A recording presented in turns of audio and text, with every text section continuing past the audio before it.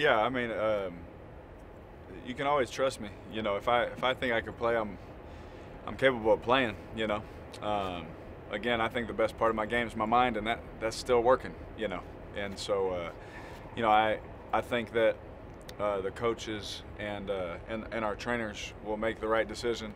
Um, i have been completely honest with them the whole time uh, about everything, and they've seen it firsthand. You know, I've been in here uh, every day that we've been allowed to to get treatment and all those kind of things, and uh, doing all my tests and all that. And I want everybody watching so they know that I'm telling them exactly how I feel. And so, uh, you know, we'll see how it goes. Um, but if it's up to me, I'm going to do everything I can to be on that field.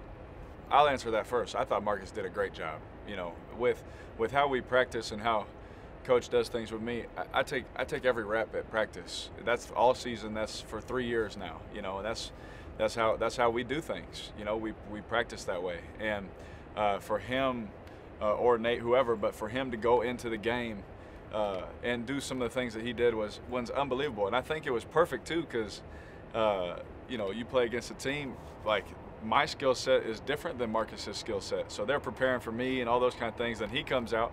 Now we got some zone read type different things. He's he's running with the football and all that. They don't they don't have time to prepare for that. They have to make adjustments on the fly. And I think it's awesome. I think it's great. Uh, I, that's why I think our quarterback room has been so great, and I, have loved it because uh, everyone in our room, we have each other's back. We care for one another. Uh, and and and we all have like a different set of skills that we can bring to the football team, and it's been awesome, man. To uh, to be honest, Jerry, I as a fan of his from afar, watching what he went through, I was just happy. I didn't want to get hurt for it to have to happen, but I was happy to see him play and have success. If I'm being honest, because um, I know he had a, a, long year with uh, with certain things that happened in Tennessee and with injuries and all that kind of stuff, and I saw it on his face every day uh, he just he just kept grinding all that. So I'm not gonna lie to you, I was really happy for him uh, as a as a man and as a as a as a supporter, as a quarterback, because this game is tough and sometimes we go through things. So to see him get some uh, an ability and lead our team, uh, it was awesome. I was really happy for him. Oh, it, I think that's uh, besides breaking my ankle, that moment crushed my heart the most um, because because of how I felt during the game, seeing the coverages, seeing what they were playing, you know, while I was in there, uh, going down the field, we had a mishap on the first third down. Uh, but besides that, I was like, oh, we're seeing it. We're we're going to do some good things today. You know, I felt really good.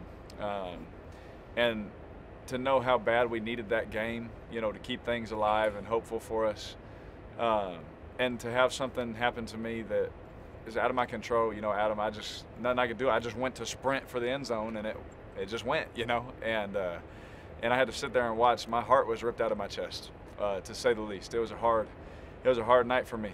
Uh, it was a hard couple days for me, uh, to be honest, uh, because with everything that's gone on uh, with this team, I still felt, even with all that, we had a chance to win 10 games and try and make the playoffs. I still felt that way, you know, even with everything that we've dealt with, you know. I still feel I still feel that way. That even with everything we're doing, we could win nine games, and there's still a one percent chance. You know me, that's enough. you know, uh, I, I, like that. So, um, but to say the least, it ripped my heart out of my chest to to not be able to play the game. And trust me, I would have been out there if I could have.